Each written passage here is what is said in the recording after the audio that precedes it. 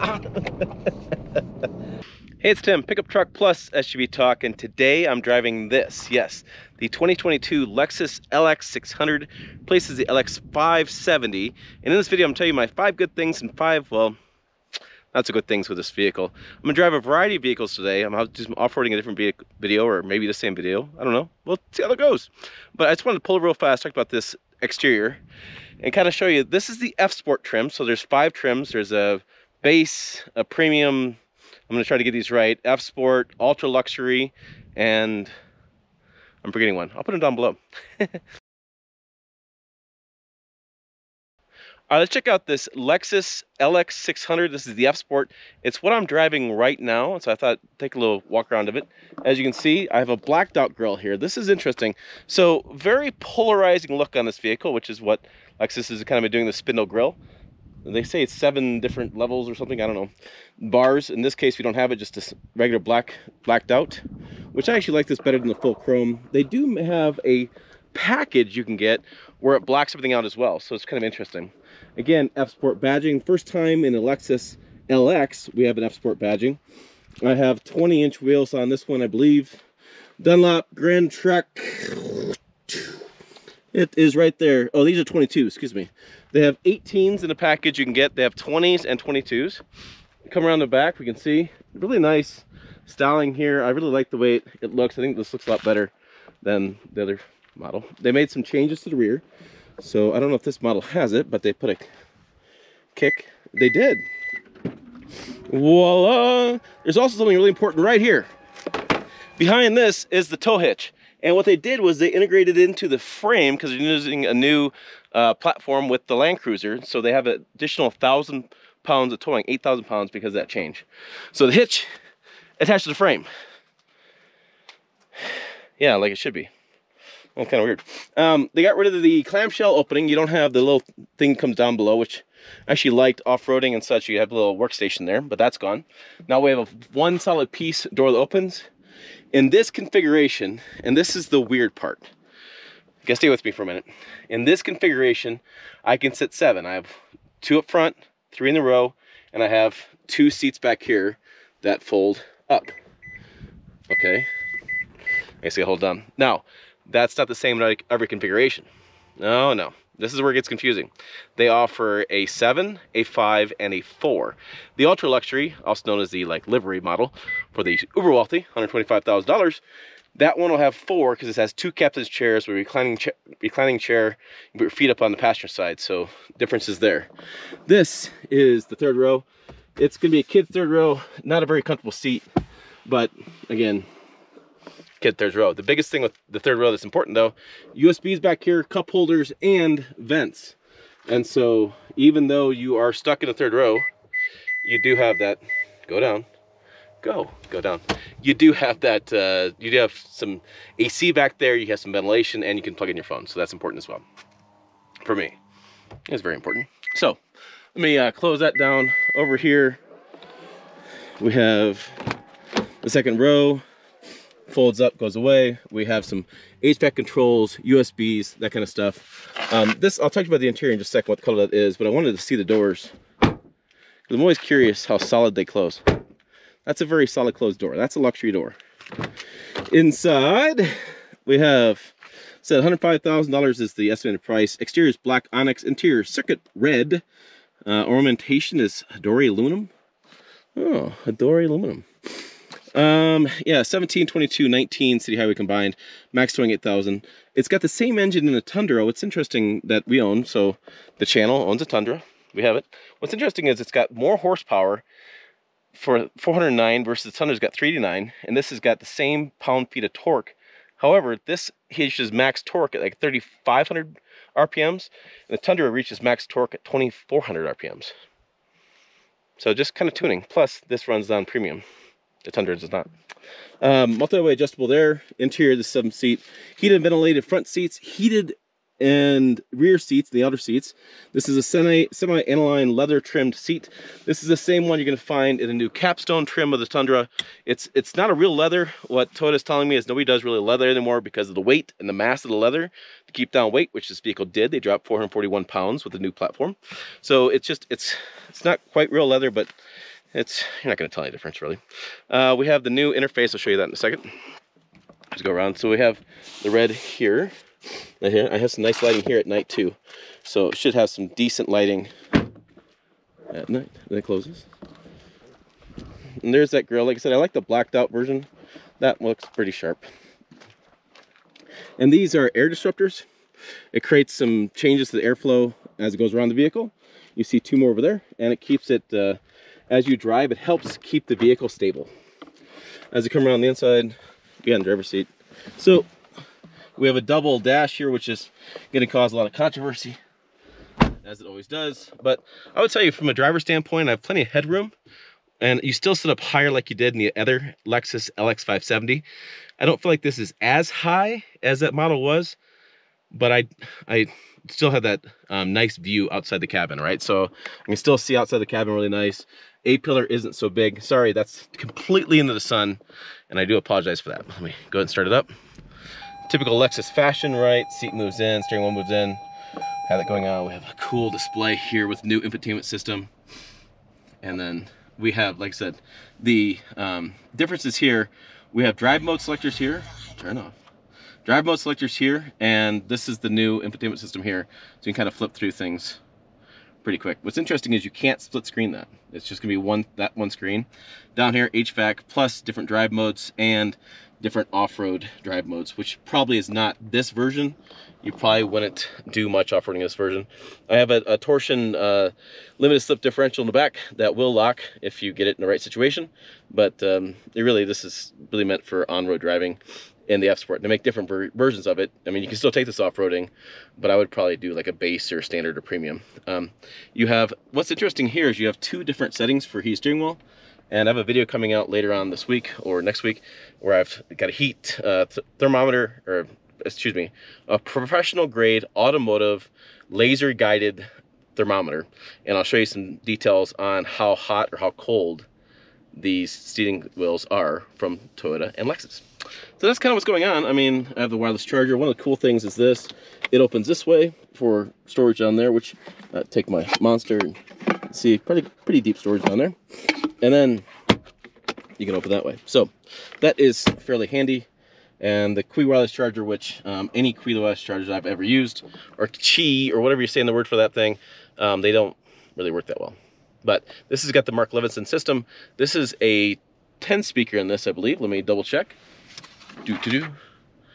Uh, no, excuse me. This is the 25 speaker, 2400 watt um, system. So wireless Apple CarPlay, wireless Android Auto, six USB ports. Again, this starts 86,000, goes all the way up to 126,000 with the five different grades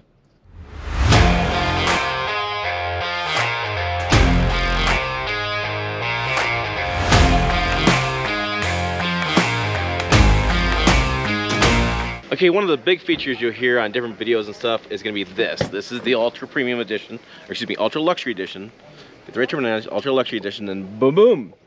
48 degrees reclined, and I have the footrest here, the ottoman, right? So you climb in, you put your feet up, you recline back. It's hat goes like this. There's even like a hair diffuser thing that puts on hair. Well, if you don't have a hat on. Uh, there's different things as far as massage back here, you know, whole apparatus. You have a cool box, you have charging. So it's really set up for executives. Look, this is this is the new limousine. And when I was in Japan, they had vans like this, and so the people wouldn't use um, limos. They use the vans, they use SUVs. People don't want to get down in sedans anymore. This is the option. $126,000 starting price in this. I agree. Holy cow. However, if you have the means and you're going to be a chauffeured vehicle anyways, and it's livery service, right? So you could uh, you could drive executives around and charge executives to use this. I mean, that's what it's meant for. So don't get your panties all in a bunch and saying, "Oh my God, it's so expensive!" All this kind of stuff. This is a very very specific customer, and it'll be a very limited run on how many of these going to sell throughout the world. So there's the details. Relax. Don't chill out don't get all keyboard warrior.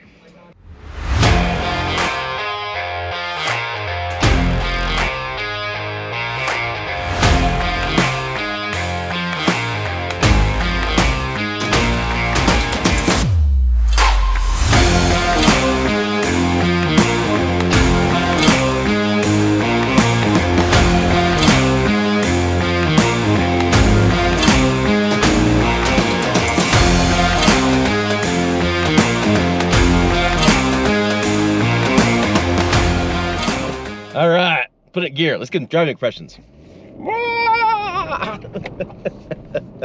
uh, traction control works pretty well. All right, so this is, like I said, the same powertrain in the Tundra, although it is tweaked differently. You are running premium fuel in this, not because of turbos, but because it's a premium luxury vehicles. Most luxury vehicles ride in premium fuel. That's what they require. So that's how they tune them for better power and performance, because that's what you want in luxury vehicles. Now, I am in comfort mode. I could do my mode select and change to sport or Sport S, which gives me the ultimate control and drives like a sports car. So it really gets some um, impressive steering wheel input. The engine shifts a different point as far as the transmission shift point changes. The throttle response is different. But I gotta tell you what, this is the same uh, curb weight around there and the same gross vehicle weight rating as the full-size Tundra. But this thing is pretty darn quick. I'd be, uh, I've been trying to get the 0 60 time app to work. I haven't been able to do it. Uh, I've been anywhere from like six to seven seconds, zero to 60, and this size of vehicle is pretty impressive. And that's in normal mode. Like I'm not even trying. All right, so, you know, even like if I slow down here and we, um, well, we skirt the law a little bit. Oh, there's a minivan pulled in front of me. Oh, let's get on its butt. I mean, now that's in Sport Plus. That is the full sport mode. That's 45. That's speeding. Okay, and they have changed where the kind of center of gravity this vehicle is. More in the middle, that's new um, platform. They're using the same one with the Land Cruiser. Drop 441 pounds. Changing that, you have less body roll when you're, steering, going around corners than you would the, um, like you think a big SUV would. This drives like a smaller SUV, which is way the market's going. Everything's going a little bit more nimble, more responsive, and this thing is definitely more nimble and responsive. And with the F Sport, whoa, I have uh, paddle shifters, different drive modes, and uh, well, smiles per miles, folks. Smiles per miles in a vehicle like this. So I've been uh, I've been pretty happy with it, even with the four-link coil suspension and the highly mounted. The double wishbone is, is, mounted above the frame a little bit. It's a higher mount than normally do with, with the double wishbone front suspension. Um, even the twisty bits and even, uh, as Joe says, and even the uh, not perfect roads, um, I, I still would feel the vibrations of the road, but it wasn't nearly as harsh as it could be because the way the dampeners are set up. So this does ride pretty smooth. I've done some road trips with the older Land Cruiser, and I can see myself doing a long road trip with this because very comfortable. The seats are really comfortable. That's the biggest thing. Um, you spend all your time vehicle in the seats. I feel like a good amount of seats, good amount of hip room in the inside, even though I have the center stack that is permanent. I don't have, you know, a, a pass through there a little bit, um, like you would like maybe a other vehicles where was open in the years past. Uh, even though that's closed in, I feel like I have plenty of hip room, plenty of shoulder room, and plenty of headroom. And so I'm 5'7", and I feel like I fit pretty well in this. And that's with the seat going down. It's a multi-way adjustable seat. I'm sure whatever size you are, you can find a setting in this that is gonna fit your needs.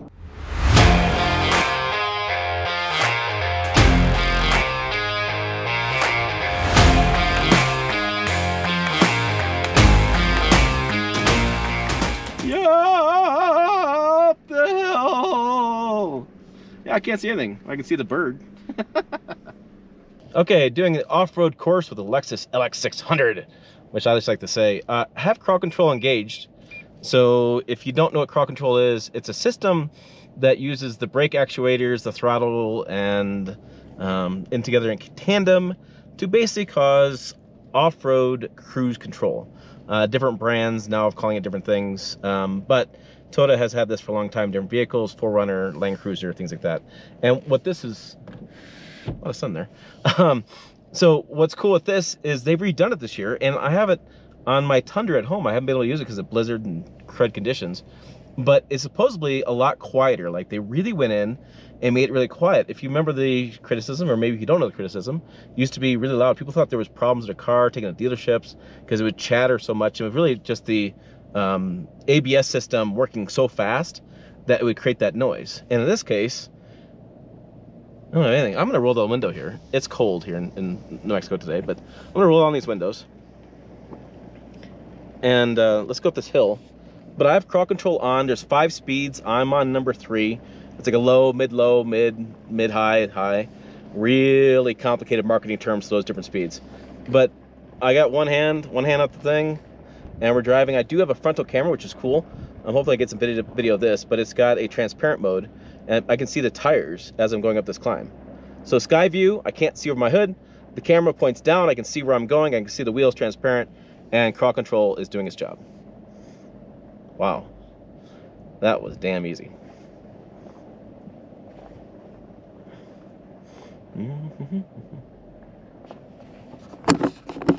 Okay, so I want to show you this. That is that image on the screen. You can see both the sides and you can see the tires and transparent mode going up to the top. You can see this is the screen for crawl control down there, this off-road screen. see the tilt, I can tilt, not tilt my camera, you can see the screen there. And yeah, that's uh, pretty badass. I wanted to show off this one I'm driving the off-road course. So this is the one that's got the blacked out package. So you have the matte black here, right? So you have the one I drove this morning, you have the ultra luxury with the seven chrome bars. The one I drove this morning was the F Sport, had the F Sport kind of mesh grill. And then you have this, which blacked out. What's cool with this is I have 18 inch wheels that are blacked out, black caps. I have black door handles, right? And let's see what's in the rear. Uh, similar rear, you know, so nothing big there. Let's see if this has got it. Nope. Gonna see how many seats this has got.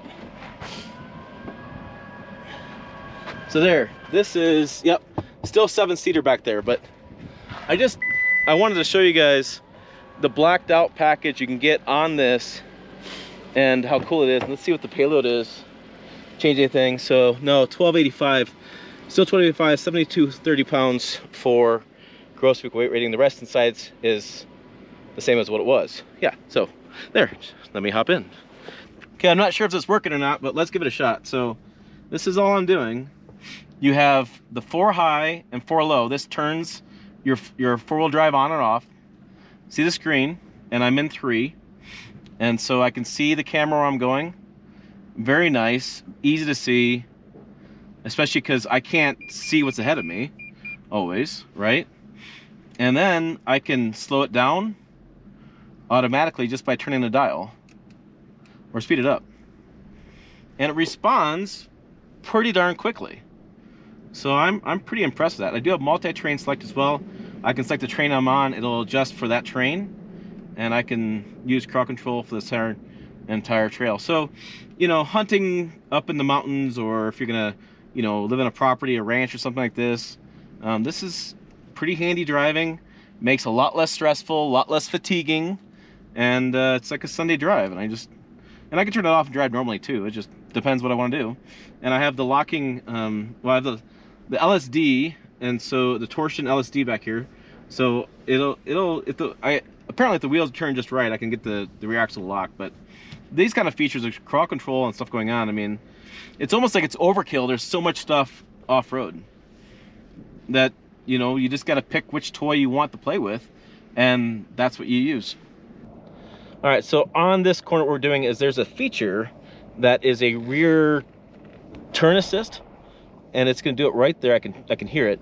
It's gonna skid a little bit. What it's doing, it's holding the outside tire on the right side, or you know, the passenger side, and let me get around this corner that much easier. So as vehicles have gotten bigger, off-road vehicles have gotten bigger, like everything's gotten bigger, when you're trying to make these hairpin switchback corners, it's tough with the size vehicle you have and I can toggle it on and off. I'll do it on the screen here in a minute. And then um, it's useful. So let me, let me do it here. I'll show you it one more time. So it's right there. There it is right there, turn it on.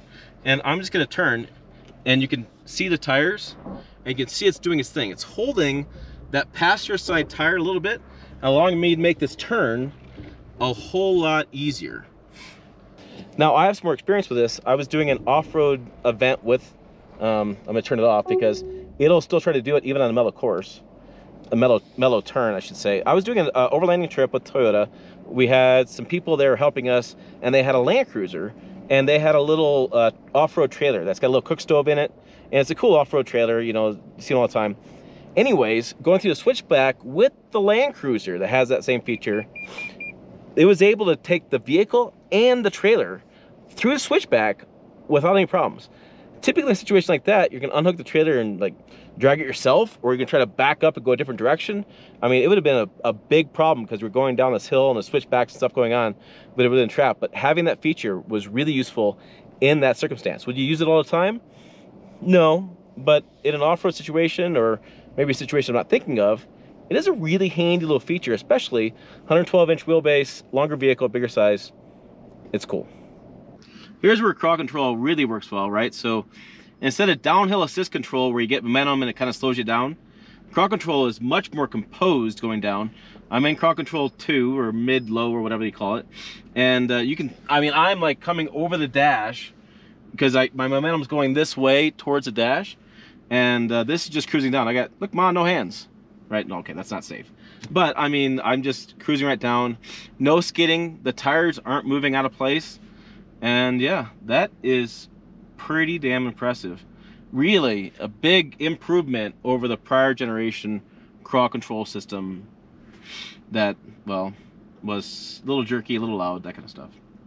Okay, so what I'm going to do the rest of this video, or rest of this off-road course, is I'm going to play with crawl control because I'm so enamored by how quiet this is. And I'm going to turn it down. And what I want to do is I want to put, if you, there, I got the camera. If you have used this feature before, Tacoma, you can see my Tacoma videos, Tundra, yes, Crow, I can hear you. Listen to this.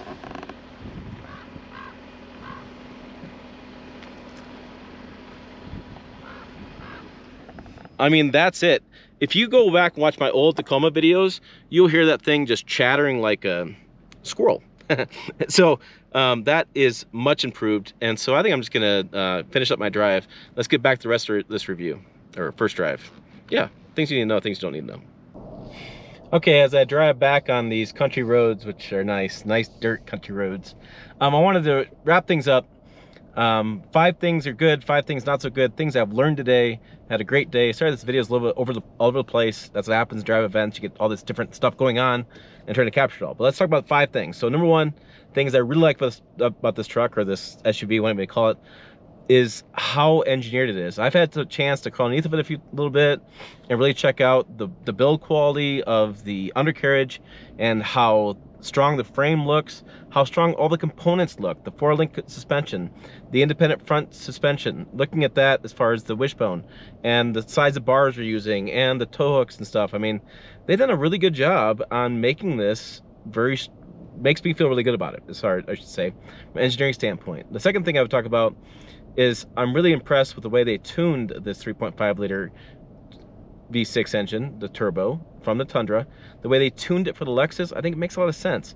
Um, it's interesting how it's got more horsepower and the same amount of torque, but the torque is a different wave on the way on the torque curve. It hits full torque later on, but it's I, am not towing with this all the time. It's only 8,000 pounds of towing, so there's a little difference there what I need from it. And I do like a little more horsepower. So I am really impressed with how they tuned it. So able to use the same engine, but use it differently okay? Number three, and this is something that's really important to me, is how quiet and comfortable it is in the cabin. This, I've been in the seats all day, and the seats feel really comfortable. I can be in these seats for a long period of time. That's really important to me. It's really quiet in the cabin. There's not a lot of noise in the cabin. Um, it's everything's comfortable. Everything I've touched today, it, it's it's not soft, soft touch like plush, like Rolls Royce plush, but it's it's soft enough that it it. I feel good about driving it. I feel good that I'm not gonna be tired of all this hard plastic. I have nothing to say about hard plastic.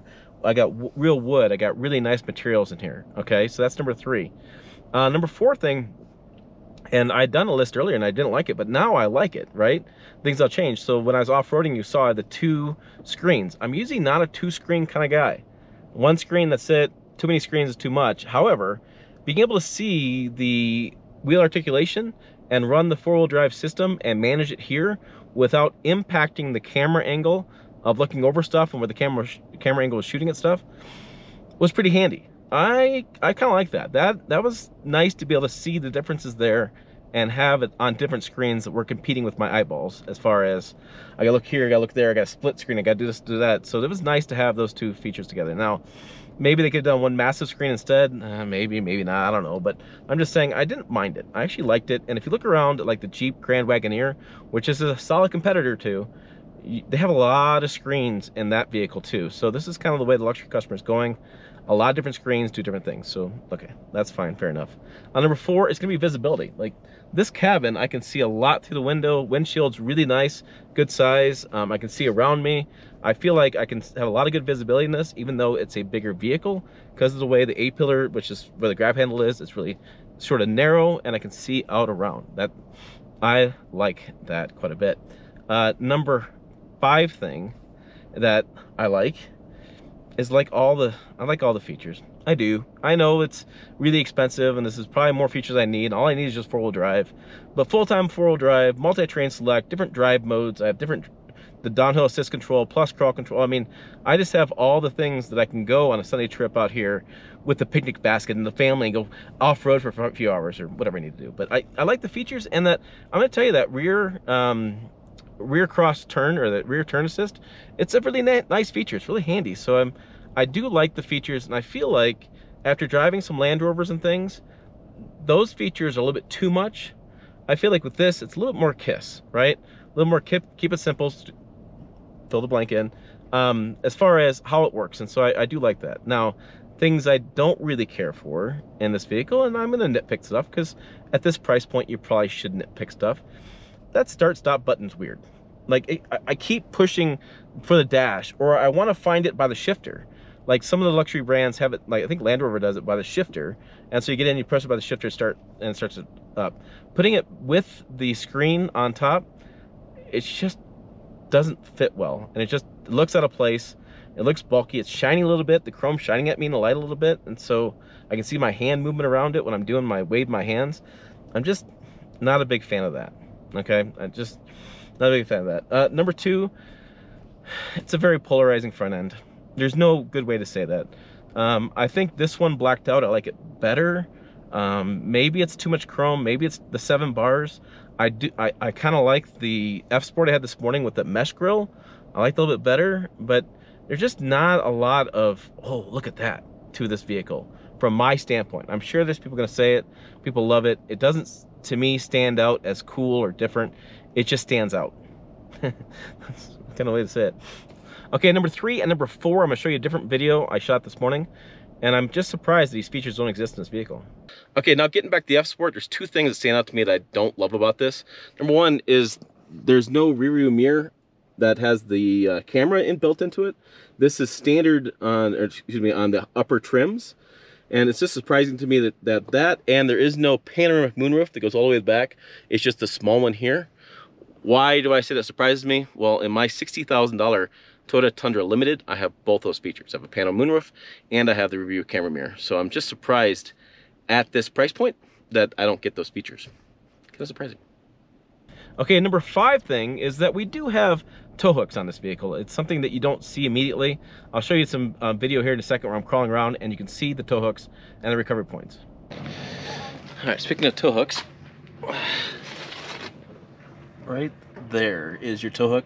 You probably do another one over there too, but that's right there. And you have this much bumper to go. Get to it back here.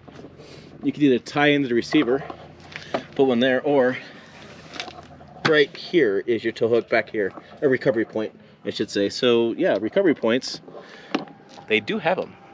Now, it has them. Why bring that up? Well, a little hard to get to, right? So you're gonna damage your bumper somehow if you're in a weird situation where your front end's like this, you're getting pulled out like this, or if you're something's happening. So I anticipate that if you are gonna do any sort of recovery, like let's say, let's say you go on an icy road in the wintertime in the snow and you do a donut and you end up in the field.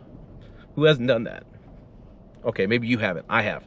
If you've done that, you know, you may be in a weird situation where you're up too high or down too high and you're high centered and you can't move the vehicle. And so I understand that there's some limitations for getting the crash test safety and aerodynamics, all the stuff, excuses I'm getting for this problem. But, you know, to me, it's, it's kind of weird that it's not in a better spot I can't get to a little bit easier. So um, I got to figure out where I'm going because there's two trails here and I'm pretty sure I'm on the wrong one. So I'm to let you guys go. But check that video out over here, website down below. As always, thanks for watching. I'll see you down the road.